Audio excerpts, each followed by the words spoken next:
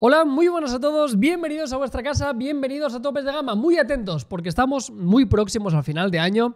Esto pretende ser una pequeña recapitulación y vamos a hacer varios vídeos en los sucesivos días en los cuales unas eh, recomendaciones y unas listas de los teléfonos más recomendables según gamas de precio. Y empezamos por una de las más interesantes, los mejores teléfonos, los teléfonos que nosotros nos compraríamos por menos de 200 euros. Si querías gastarte muy poco dinero, si conoces a algún amigo, algún familiar, algún compañero de trabajo que quería comprarse un teléfono muy económico para estas navidades, pásale este vídeo y si te gusta mucho, le das al like a este vídeo y haremos muchos más.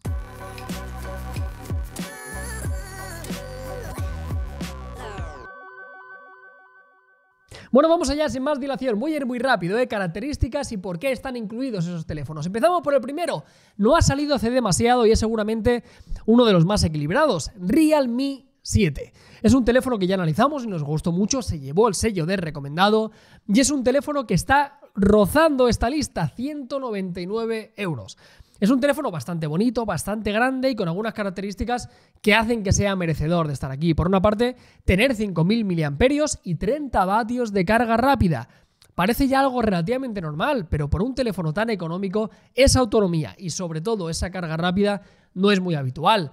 Luego tenemos eh, resolución Full HD, tenemos 90 Hz, ya sabéis que la gente de Realme apuesta mucho por la tasa de refresco, pues tenemos 90 y cuatro cámaras, que no está mal para ser un teléfono bastante económico. Tenemos un sensor gran angular, tenemos 48 megapíxeles y destacar que tenemos un procesador de MediaTek. Acostumbraos, ¿eh? porque esto es habitual en teléfonos económicos, procesadores Helio G95 suele ser un estándar, pero el Realme 7 está muy bien. Continuamos con el siguiente y lógicamente van a estar monopolizados por Xiaomi y por Realme. Y hablamos del Poco M3, un teléfono que en breve vamos a analizar, que nos encanta y que tiene muy buena pinta, seguramente una de las mejores opciones, porque cuesta, amigos, 149 euros. Un diseño muy atractivo, con una paleta de colores muy divertida, el amarillo este que tanto nos gustó, el Snapdragon 662, que no está nada mal, 6.000 mAh, que es una chaladura. O sea, seguramente uno de los teléfonos económicos con más autonomía del mercado. Triple cámara con 48 megapíxeles, pantalla Full HD, que alguno podría pensar, bueno, igual le han metido HD. No, no, Full HD, 6,5 pulgadas, doble altavoz. Oye, una super compra, súper recomendable este Poco M3. Vamos a continuar y en este caso nos vamos a quedar directamente con el fabricante Xiaomi. Lógicamente tiene que repetir Redmi Note 9S un telefonazo, un teléfono que tiene bastante tiempo, pero sigue siendo una muy buena compra. 179 pavos y es que es un teléfono súper completo. Tenemos pantalla de 6,67 pulgadas, bastante grande, Full HD, tenemos agujerito en pantalla, 6 GB de RAM, 128 de almacenamiento si lo queréis, cámara cuádruple también con un sensor de 48 megapíxeles, Decir que el apartado fotográfico de estos teléfonos es casi siempre igual, ¿eh? son muy parecidos. No busquemos un gran exponente fotográfico, por lo menos en esta gama de precios, ¿no? ¿Qué cosillas buenas tenía? Pues tenía un muy buen procesador. El Snapdragon 720G. Tenía 5.000 mAh, carga de 18 vatios, como veis, muy equilibrado. Y destacar otra vez el procesador, muy solvente. ¿Alguna pega? Lo decíamos siempre, y para mí una de las pocas cosas que se le puede reprochar a este teléfono, no tenemos NFC, no podrás realizar pagos con, con él. Volvemos a Realme, amigos, porque ya os digo, eh, entre ellos se reparten la gama baja. Y antes hablábamos del Realme 7, pero hablemos también del Realme 6, un teléfono muy parecido, pero lógicamente algo más económico. 169 euros. Tenemos una cámara de 64 megapíxeles, mucha resolución para un teléfono de estas características. Nos encontramos también con 90 Hz, como veis guardan muchas similitudes con el Realme 7, carga rápida de 30 vatios también, el procesador es algo menos potente, el Helio G90T. Si te quieres ahorrar 30 pavos, ¿te gusta Realme? Pues sí que es verdad que se parece mucho al 7. Bueno, cuestión de precios. ¿eh? Hay que entender que 30 euros en esta gama económica es bastante dinero, porcentualmente. Vamos a continuar y vamos a meter también un teléfono del fabricante Oppo, que hace muy buen trabajo y sobre todo en la gama baja este año se las ha apañado bastante bien.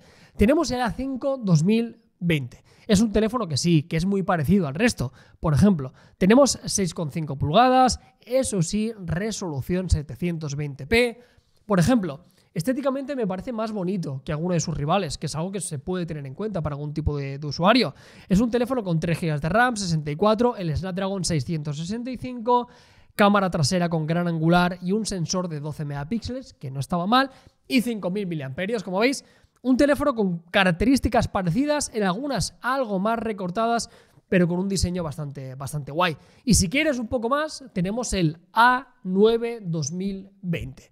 Otro teléfono de Oppo, también muy económico, 169. Ojo, porque el A5 se encuentra en Amazon por 139 euros, ¿eh? Agárrate, es muy barato. Pues bien, ¿te quiere gastar un poquito más?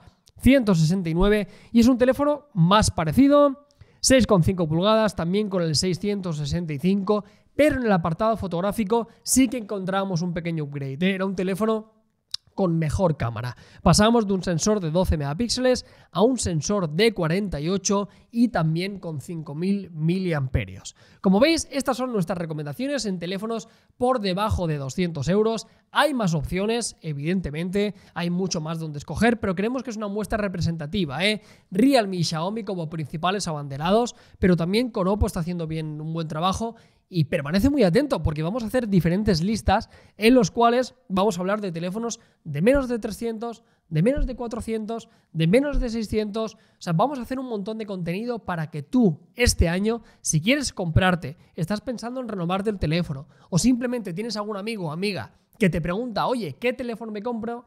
Le pases estos vídeos para que puedan tener toda la información. Así que nada chicos, nos despedimos, un abrazo enorme y nos vemos muy pronto, aquí en topes de gama. Adiós.